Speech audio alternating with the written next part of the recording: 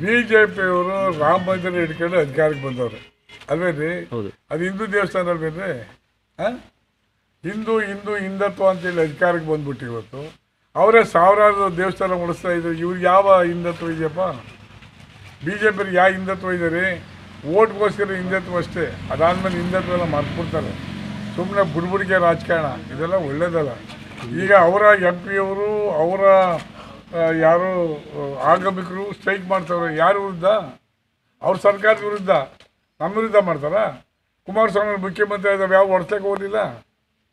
ನಾವು ಅಪೀಲ್ ಹಾಕ್ತೀವಿ supreme court ಅದು ಇವ್ರು ಯಾಕೆ ಹೊಡಿಸ್ತಾರೆ ಬಿ ಜೆ ಪಿ ಓಟ್ ಹಾಕ್ತಾರೆ ಪುಣ್ಯಾತ್ಮ ನೀವು ಕೇಳ್ಬೇಕು, ನಾನು ಕೇಳಿದ್ರೆ ಏನು ಮಾಡೋಕ್ಕೆ ನಾನು